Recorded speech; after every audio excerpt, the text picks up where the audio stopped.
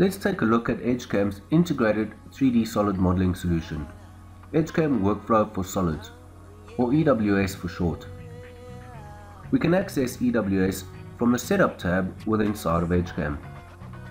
This takes us through to the 3D design environment whereby we have a couple of sketch tools and 3D design options available to us for creating simple solid models. We can also access advanced options from the advanced panel. We'll start by creating a 2D sketch. This will represent the basic profile we, we wish to extrude at a later stage. Utilizing our dimensional and logical constraints, we'll define the model using given dimensions.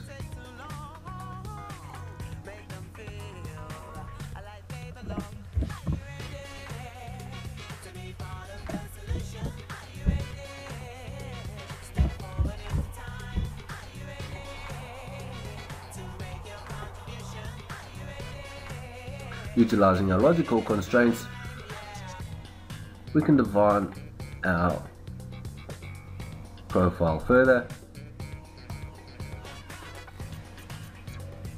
and utilizing our trimming options, trim back some of the unwanted geometry.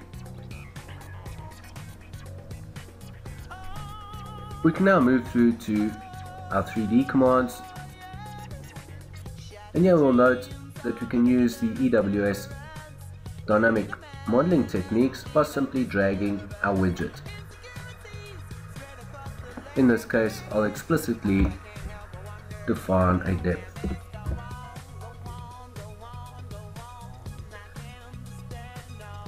Moving forward, we can define further sketches and in this case I'll select the bottom plane of this model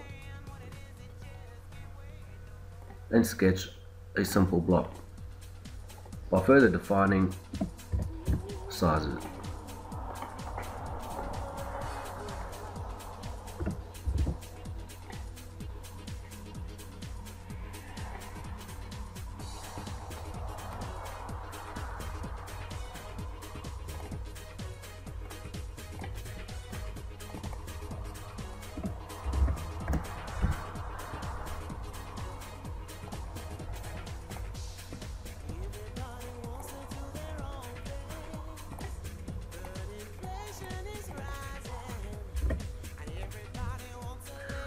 We'll now extrude this.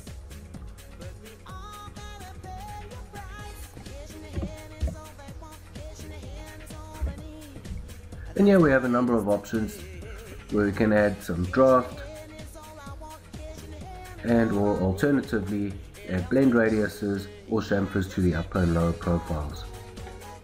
We'll simply select a vertical wall profile. At any stage, you'll notice that we can refer back to the storyboard or history tree as you may note and by simply double clicking on the command it will take us back to that stage in the design process. We can further make additional edits to our profile and in this case I'll add some chamfers to the corners and validate that change. We may want to use the drill option or hole option and here we can see we have a various number of hole tops from countersunk holes to simple holes including counterbore holes and a various number of others. Once again we can further come back to our command and further constrain our drawing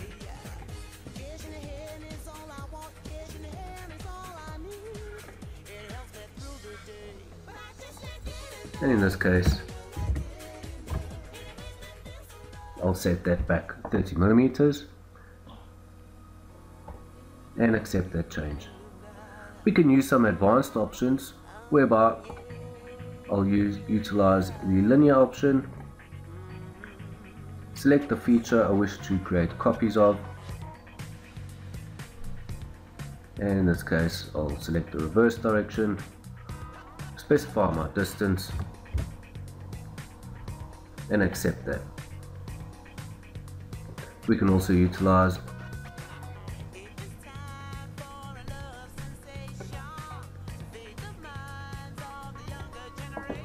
our circular pattern command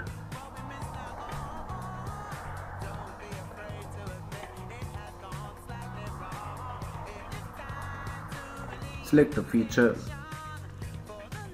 and in this case I'll select to create six copies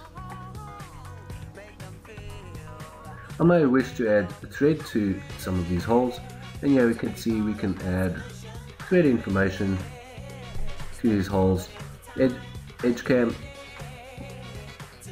will evaluate the hole and assign defined thread based on a specific standard. We can override these using the number of different standards available to us.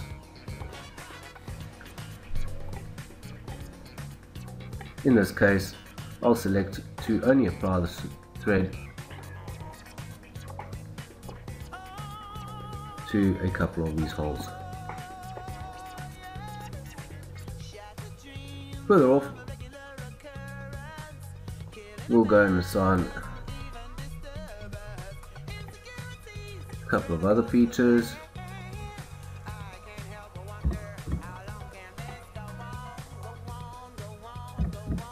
and utilizing the cut command we can extrude this to a specific depth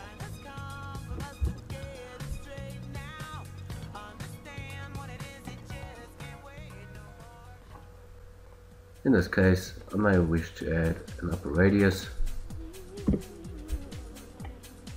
And here you can see very quickly and easily we have now created a 3D solid model within EWS. We can further utilize EWS for creating 3D solid models from your standard 2D CAD drawing format, as you would commonly know this as DXF or DWG format. We'll start by opening up a standard 2D turn component, which in this case will be in DXF format. We open this inside of Edgecam, and as you'd be familiar with, we have our standard side view and top view. We'll now enter EWS. Notice how EWS loads the layers that have been specified in our CAD system we can switch off the unwanted layers that will be irrelevant to us throughout the design process. We can switch on layers to refer back to the drawing for dimensional reference. In this case, I'm only interested in the turn profile at this stage, whereby I can simply draw window and extract that sketch geometry. Utilizing our advanced options, I can further create some construction geometry, which in this case will be an axis of revolution, and specify a ball radius.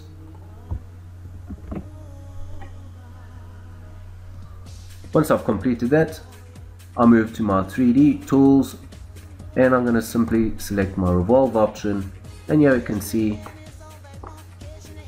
how we have quite easily created a 3D solid model. While going back to our DXF drawing, by double clicking on this, I can now go and add my other layers, which in this case, I would like to go and extract my hole sketch geometry. And here we can see how Edgecam or EWS has extracted the sketch onto this plane.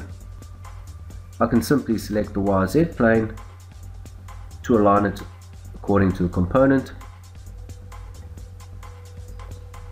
and using my cut command create my hole geometry through my component. We'll be utilizing this sketch later on in our turn demonstration.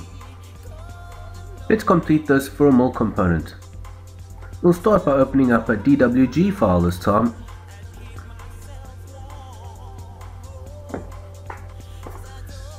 And in this case we have our standard 3D views. We'll enter EWS.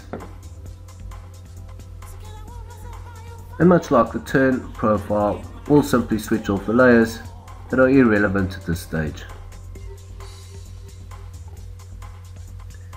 Here I'll simply select and extract my sketch geometry from my DWG file.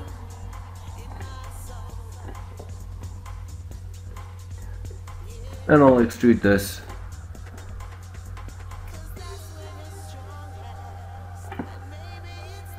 Fifty mil down. Referring back to the DXF, I'll go and further extract geometry.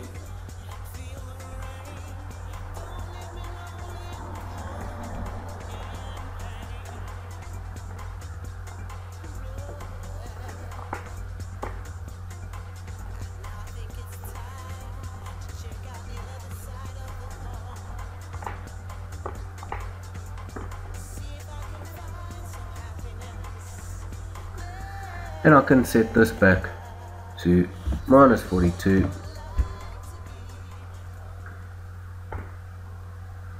based on the dimensions of my drawing. I can utilize the sketch using my advanced options. I'll simply trim back some unwanted geometry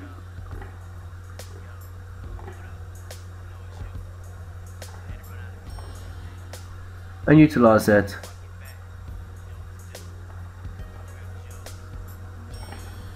Mark Street.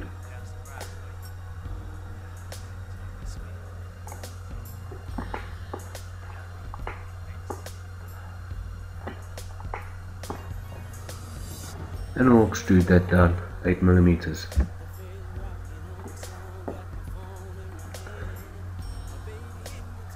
Moving back to our DXF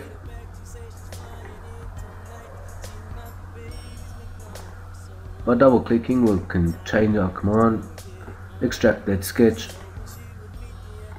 and extrude using our cut command down 40 millimeters.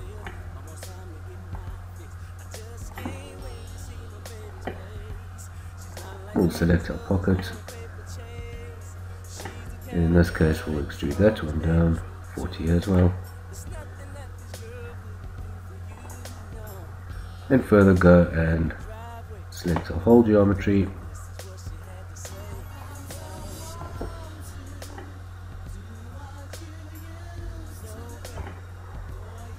Using our cut command these will be down to a depth of 25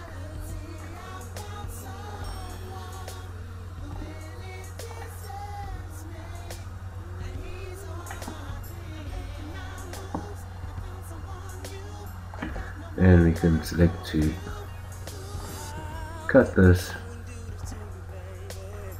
to the entire component. Lastly, we'll refer back, we'll select our external profile, extract that sketch and we'll create some additional geometry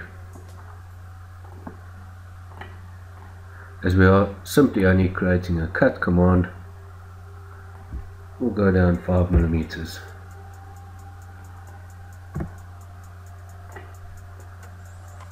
There.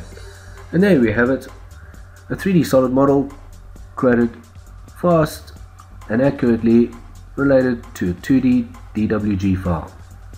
We'll utilize this component later on in our milling demonstration. Another great application of EWS is its ability to utilize third-party CAD models as reference files. Why would we do this or need this, you may ask? Well, we may want to create additional jigs or fixtures or collision checking inside of Edgecam when programming our parts, or alternatively, we may want to create subsidiary components around a reference file. We'll open up a standard Autodesk Inventor part file. Notice how we can do this without the need of a translator. This is loaded into Edgecam. We activate EWS. EWS asks us to pick a solid that we wish to use as a reference file and this is then loaded into EWS for subsequent design work. In this case, I'll simply create a re rectangle that I wish to use as a mounting plate. Specifying depth and general dimensions. And I can also create additional clamps around my component simply sketching and constraining those dimensions.